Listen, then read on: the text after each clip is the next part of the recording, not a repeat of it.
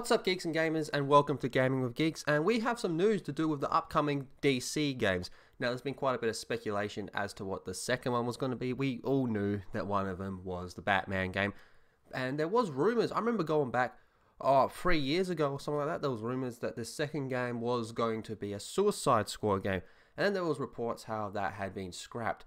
Well, those reports have popped back up, and it seems like domain names have been registered for both the Batman game and the Suicide Squad game. So let's jump into it.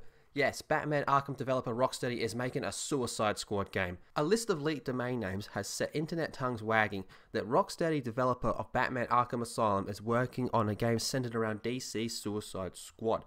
The domain name popped up uh, yesterday on Reset Era, where fans noted that they were registered by a company connected to Warner Bros. Eurogamer understands this to be accurate. Now, I've heard one of the particular phrases registered as a domain is Suicide Squad Kill the Justice League.com. It's interesting. It's a contender for the game's final title and a good dissemination of what you can expect Rocksteady's next big project to be about. Other domain names registered include SuicideSquadGame.com and GothamKnights.com, which is which actually sounds pretty accurate for the Batman game because we've heard that the Bat family is going to have um, be a lot more interaction and playable and stuff like that in. So the Gotham Knights game, that sounds like a pretty cool title to me.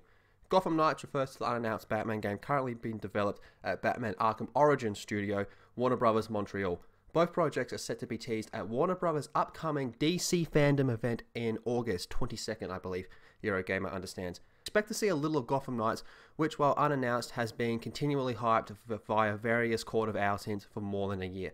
Now, expect to see very little of Rocksteady's Suicide Squad game, which is further off from launch. Both projects are being developed for next gen consoles. So what I understand from this, because I did a little bit of digging on Twitter onto some of those more accounts, is that um, the Suicide Squad game is gonna be coming out later and it's gonna be a next gen only, whereas the Batman game is gonna be cross gen, from my understanding of that. And that does make sense considering what this is saying, how we'll see very little of the Suicide Squad game because it's still further along um, down the pipeline as opposed to the Gotham Knights Batman game, which is being development for longer. So I think we can expect to get a teaser trailer for the Batman game and then just like a logo reveal or something for the Suicide Squad game.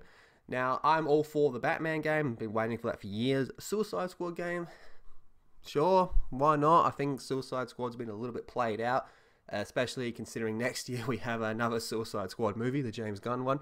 So who's who knows? But the DC FanDome event in August 22nd, we'll be getting our trailers as well as you know more information for DC stuff. As a DC fan, this does excite me. I think they've done really well with their games lately.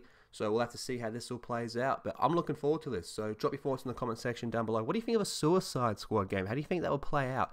Let me know what you think about that in the comments. Share the video around. Leave a big thumbs up. All that good stuff. Stay safe. Take care of yourself. And I will see you all in the next video.